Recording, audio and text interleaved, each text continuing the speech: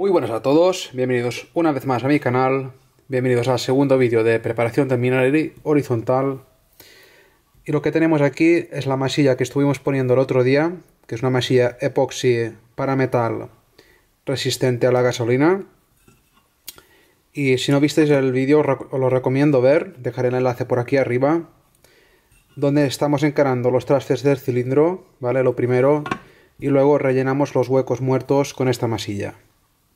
Bueno, ahora os voy a enseñar que obviamente aquí sobra masilla, porque pusimos de sobra. ¿Vale? Lo que hago es meter el pistón en el cilindro, en el punto muerto inferior. Y aquí podéis observar que el paso de gasolina está muy estrangulado. De hecho, debe haber unos 3 milímetros de paso de gasolina. Así que lo que vamos a hacer ahora es limar el sobrante de masilla para darle una pequeña canal, ¿vale? Desde la caja de láminas a la misión y de por este lado también un, un pelín. Como ya sabéis, cuando el pistón está bajando, ¿vale? Está comprimiendo todos los gases aquí dentro y cuando llega al punto más bajo de todo, cuando las ventanas de admisión quedan abiertas, todos los gases que había acumulados en, la, en el alojamiento del cigüeñal van rápidamente a los transfers es decir, de por aquí también vamos a hacer un poco de canal, ¿vale?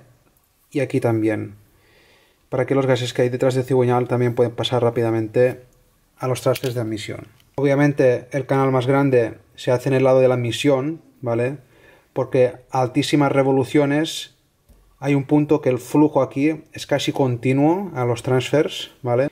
Por eso obviamente aquí el canal tiene que ser más grande porque es donde va a pasar más cantidad de gases.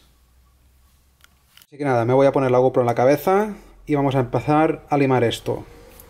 Antes de empezar debemos marcar primero por dónde anda el cigüeñal para tener una idea clara de dónde podemos hacer la canal y dónde no. Así que os voy a enseñar una pequeña herramienta. Bueno, la herramienta consiste en un par de rodamientos viejos, los cuales he limado con una máquina de disco el exterior unas décimas y de por la parte interna también están limados, lo que permite es que lo podamos montar sin ningún tipo de dificultad y desmontar, ¿vale? Así que lo que vamos a hacer es plantar el cigüeñal de tal manera que con un rotulador podamos marcar por dónde anda más o menos el cigüeñal. ¿Vale? Y de esta manera ya sabemos por dónde pasa el cigüeñal y por dónde tenemos que hacer la canal. Que en este caso será de aquí hasta aquí. ¿Vale? La canal será esta de aquí. Pasará por aquí en medio los gases. Tenemos que eliminar toda esta punta. Y luego por aquí también haremos un pelín de canal. Bueno, como veis, aquí tengo las fresas que suelo utilizar y en particular las que más me gustan son las que hacen la punta redonda porque estas no suelen hacer tantas clavadas como estas de aquí que tienen el canto vivo. ¿Vale? Estas son muy delicadas de utilizar, sí que pueden ir bien en según qué situación, pero es muy fácil hacer clavadas con este canto tan vivo. Así que por lo general suelo utilizar las de punta redonda. Cuanto más gordas, mejor, porque según el tamaño, si son estrechas, también es más fácil hacer clavadas. O sea que suelo utilizar siempre el tamaño más gordo que me permite el trabajo. Obviamente esto luego, según el trabajo que tienes que hacer, puedes elegir el tamaño o no. Pero siempre suelo tirar para más grande. Y una vez hemos comido el aluminio con esto, porque esto es para devastar lo más grande, luego vamos al apartado de los acabados que suelo utilizar estos rollos de lija en diferentes granos ¿vale? Este debe ser un 60 y esto creo que era un 80 o algo así.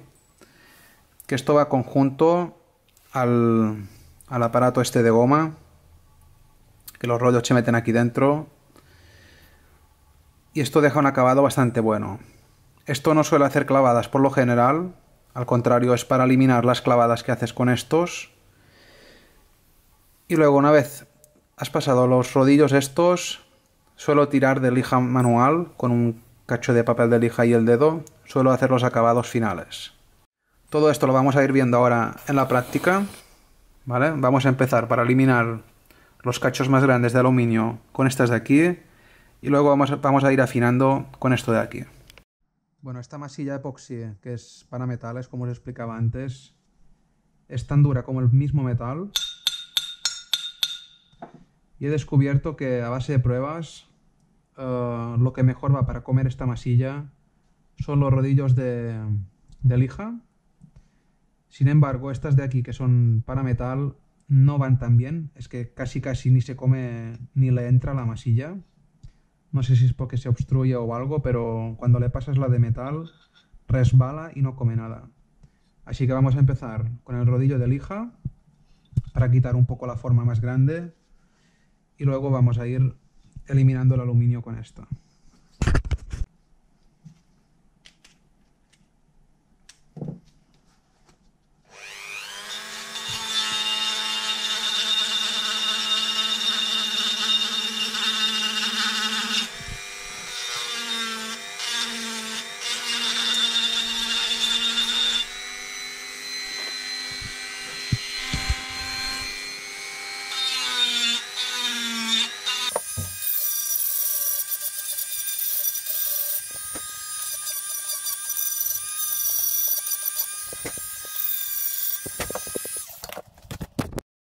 De vez en cuando que ir colocando el cilindro para asegurarse de que la forma que estamos dando es la correcta.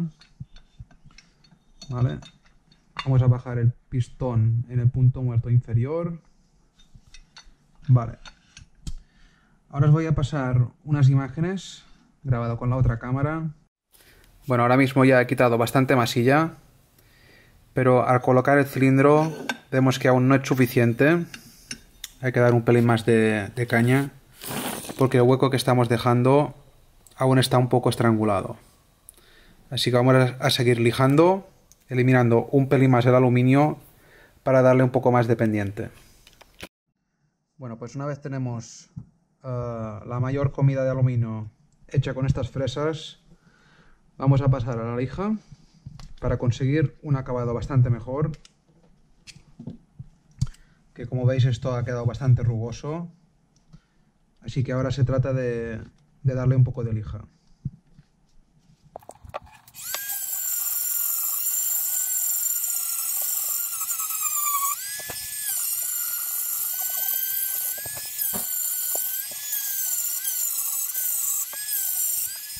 Bueno, una vez hemos pasado los rodillos de lija, suelo darle a mano porque queda bastante más plano. Los rodillos al ser redondos siempre hacen un tipo de clavada que luego con, un papel de lija bien plano se pueden eliminar las impurezas que dejan los rodillos.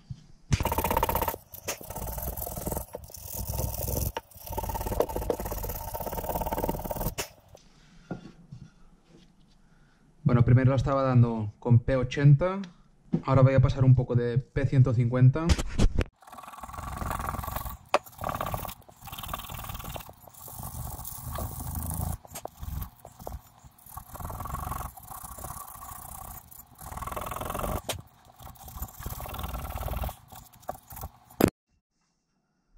Bueno, finalmente le voy a dar un poco de estropajo. Pero de todas formas, este cárter lo vamos a arenar con la máquina de arena. Ya que en teoría es mejor el arenado que el pulido. Por el tema de, de los gases. Bueno, pues des después de unas cuantas horas de darle al Dremer y a la lija, ya tengo las dos caras terminadas. Aquí se puede apreciar la canal que he hecho en los dos lados, ¿vale? De todas formas, os voy a poner unas fotos de antes y el después para que podáis apreciar la punta esta que había aquí, que la he eliminado para hacer esta canal de aquí. ¿Vale? Y así que nada, os voy a poner unas tomas de vídeo ahora para que lo veáis en detalle. Bueno, como podéis apreciar, el paso de combustible lo hemos aumentado bastante desde el principio que estaba estrangulado.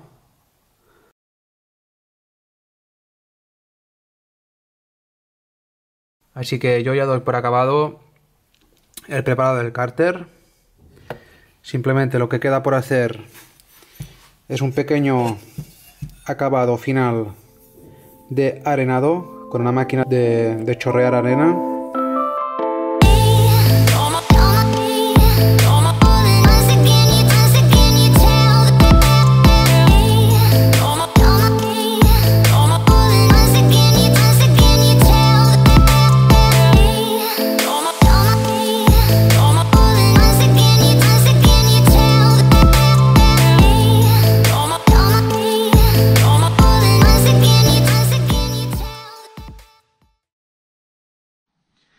Chicos, el trabajo del cárter yo ya lo doy por terminado.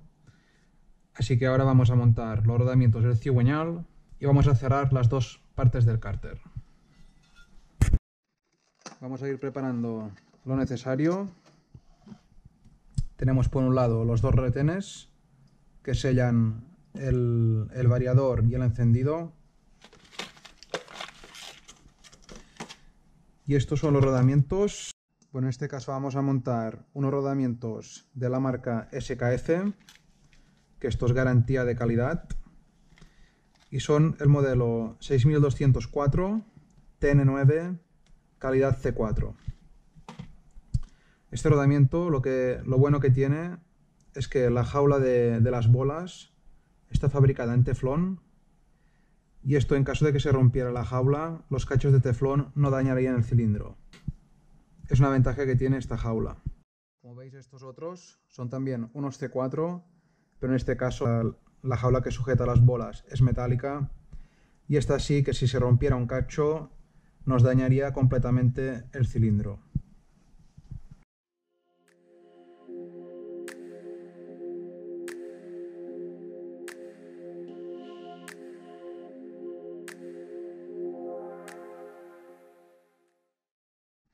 Bueno, este es un congelador que lo tengo a menos 18 grados. ¿Vale? Y aquí dentro tengo el cigüeñal. Lo tengo aquí dentro por el motivo de que el metal está contraído y a la hora de poner los rodamientos será mucho más fácil colocarlos.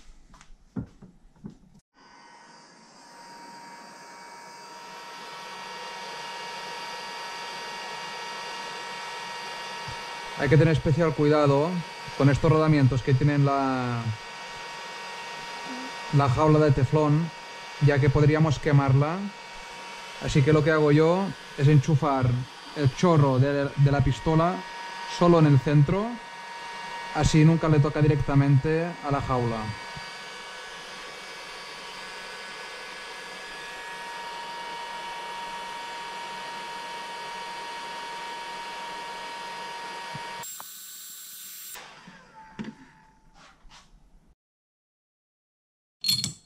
Ahí está, perfecto.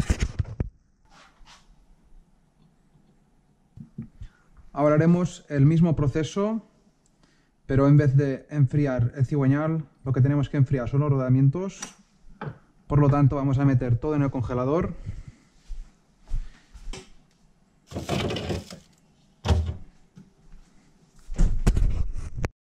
Bueno, mientras se está enfriando el cigüeñal en el congelador, vamos a aprovechar y vamos a poner los rodamientos nuevos en el alojamiento del pasador que sujeta el motor al chasis.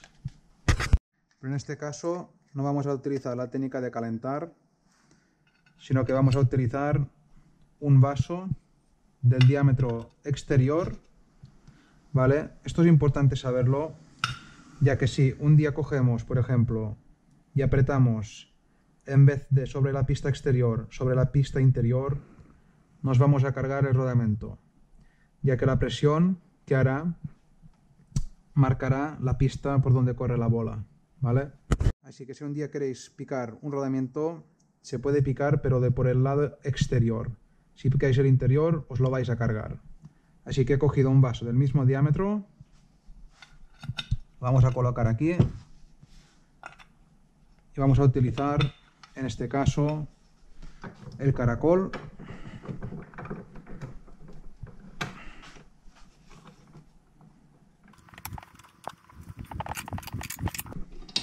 Ahí está. Pues ahí tendríamos ya el rodamiento colocado en su sitio. Vamos a hacer el otro.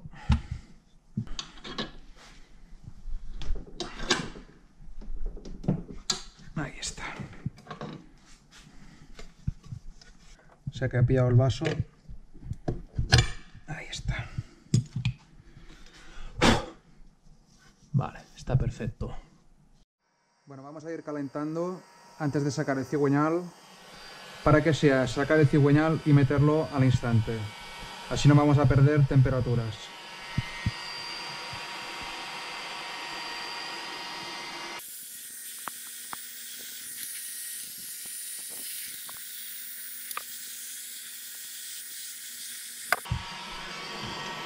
Dejar esto aquí para que vaya calentando este lugar y vamos a sacar rápidamente el cigüeñal para no perder temperatura. Ahora hay que tener bien claro la posición y este es el apartado del encendido, o sea que irá en esta posición.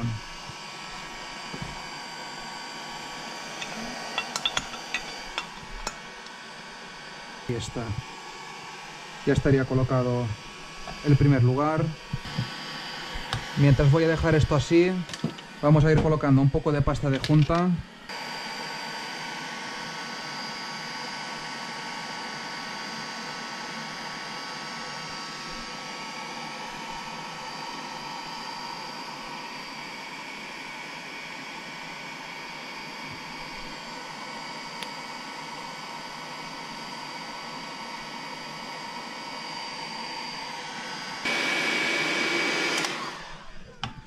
Vale, pues vamos allá.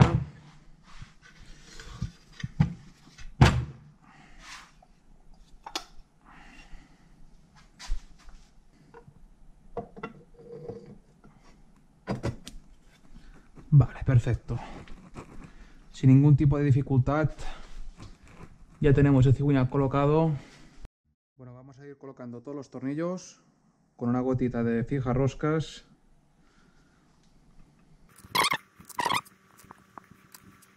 terminar de apretar a mano.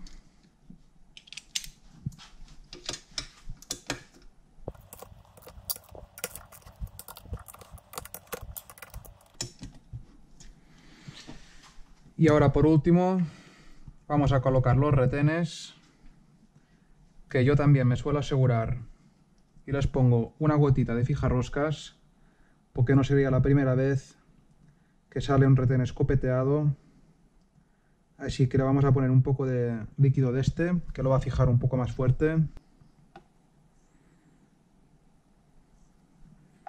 Un poquito de aceite dos tiempos. Y ya lo podemos colocar. Pero aunque no os lo creáis, yo me he llegado a encontrar retenes que por la compresión han doblado esta chapita que hace de tope. Por eso os digo que me aseguro poniendo un poco de fija roscas que eso cuando seca el retén queda un poco más fijado.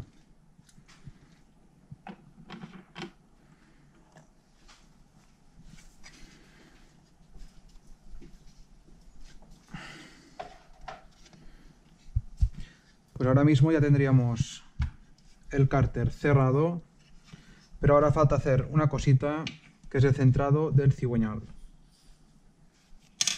¿Vale? Porque ahora mismo el cigüeñal está totalmente desplazado hacia la izquierda y está que no gira porque está tocando la pared. Así que con el martillo de goma le vamos a dar un golpecito para centrarlo un poco. ¿Veis? Ahora ya está empezando a girar. Ya os digo, lo importante es que no quede tocando un lateral Así que nada, si no tenéis un juego de galgas, podéis hacerlo, ojo, mirando que quede en el mismo espacio, o podéis fabricar unas galgas improvisadas, pero más o menos con el ojo se ve el espacio que hay, que este está en torno a un milímetro y medio en cada lado, ¿vale? Y con una maza de goma le dais golpecitos hasta que veáis que está centrado. Y con la mano tiene que girar fino, ¿vale? En este caso no gira muy muy fino porque he puesto los retenes, pero si no hubiese los retenes, con un golpe daría varias vueltas. Bueno, vamos a dejar el vídeo hasta aquí. No olvidéis que aquí abajo en la descripción tenéis la mayoría de herramientas que estoy utilizando para hacer estos trabajos. Así que nada, si os ha gustado el vídeo, podéis darle a like, suscribiros si aún no lo estáis, para no perderos el próximo vídeo. Y también os agradecería si podéis compartirlo en vuestras redes sociales, ya que esto me ayudaría a crecer como canal y así poder subir mejores vídeos en un futuro.